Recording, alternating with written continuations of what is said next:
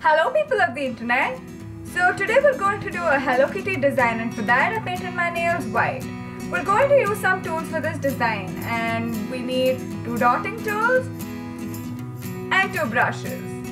So let's get this design started.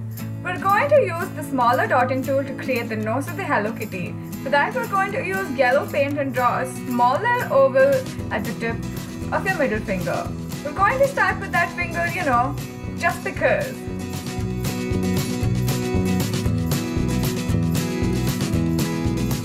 Next we're going to use the larger dotting tool to create the big oval eyes of the Hello Kitty. So we're going to draw big large vertical ovals using the large dotting tool on the index and the ring finger. Don't worry if you don't have any artistic skills, I don't either. And all you need is a dotting tool to save your life.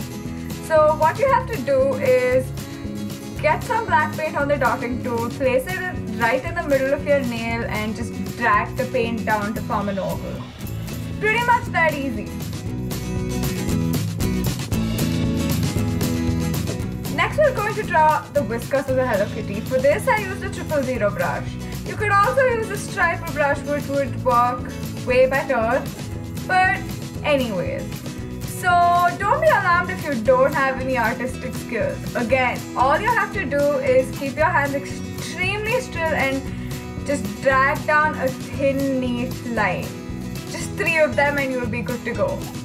Now for the bow of the Hello Kitty. For this we're going to use a much thicker brush and this is on your ring finger almost near the cuticle. So we're going to draw an X mark. You could easily get one of those stick-on, I mean glue-on bow thingies, but I prefer to paint it.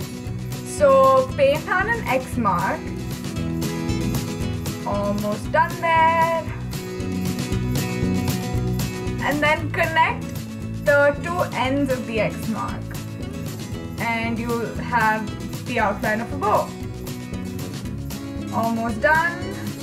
Just one more line see and all you have to do now is cover it in. If you don't want it that's okay. It's your choice and you can put any color bow you want.